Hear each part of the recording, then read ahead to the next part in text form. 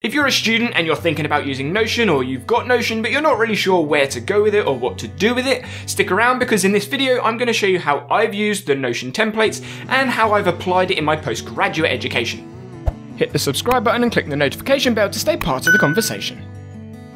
So as you can see, students actually have quite a lot of templates that Notion has already made for you, probably because they have that free plan for students and teachers. So for me personally, I didn't actually use the club homepage, but I did use some of the ideas from it. So I did use the gallery view, and I did like the idea of having all of my university club information in one place. Classroom Home is very similar, but it does cross over with some of the other templates that Notion has made, and the biggest example of that is the weekly schedule, because I think most students, I know myself, struggle with the schedule and the timetable and being in the right place at the right time, etc. So having the weekly schedule on the homepage instead of it as a page by itself was actually quite useful just to see how they did it. The syllabus template wasn't actually something I thought I'd need, but during my undergraduate degree and postgraduate degree, you have module outlines, and that's what I actually used the syllabus for.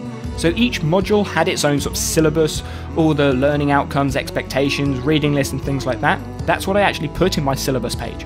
When it comes to grade calculators and plagiarism, I personally didn't use a grade calculator, even though they do have a page for that specifically. And plagiarism, I actually just used the plagiarism from the university because eh, it's kind of different. But having some of the rules on referencing, such as like, are you using the Harvard method, how do you do it, that sort of thing, can actually be quite useful. Now, I actually moved home before I started using Notion, so I didn't actually get to use this page, but seeing it now, it's actually really, really useful, and I wish I had it when I was still studying with other students.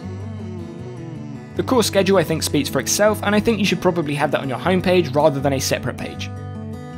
The job application page is actually quite a nice page, and I didn't really think about using it when I started using Notion, but I've actually seen quite a lot of people create CVs and portfolios on Notion. So having your cover letter, current resume, portfolio all linked into a job application page or just having a page dedicated to those things is actually quite a nice idea. And it would definitely make your life easier if you need to go and reference those things and your filing system on your documents is not very good.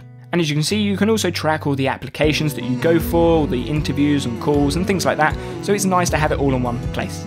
This is the grade calculator that I mentioned before, and although it's a nice idea, I personally didn't use it that much. I just focused on trying to get the best grade I could in the assignment that I was doing. You can change how all the calculations work if you understand formulas and it does go into a little bit down the bottom. I personally haven't used the CRM at all while studying, but it is a nice idea if you do tend to lose contact with some of the people that you talk to. Lesson plans, again, I didn't really use that much, but could be useful for potential teachers. And the class directory, I didn't actually use as a class directory, I used it as a teams directory, so I was ahead of a club and I used it to keep track of all the players that I had and all the people that were interested in the club and things like that.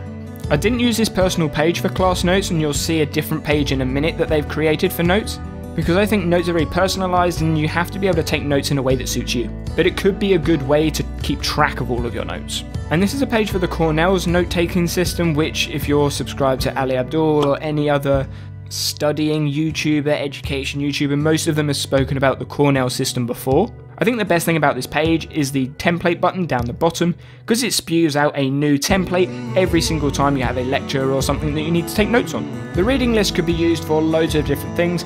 Personally, I actually used it as a reference list, so when I was researching for articles and things like that, I put the reference in there so I didn't have to go scrolling through Google Scholar over and over or PubMed or anything like that. The thesis planner I'm not using at all, but I have my own version of it which helps me out, and I did use some of the things that they've used in this page. And for anyone that does want a simple overview budget, you can use Notion, and there is one there. I personally am quite familiar with Excel, so I use Excel for that. But if you want everything in the same place, you can do it. Don't forget to watch this video for more productivity, tips, tricks, and tools. I'll see you there.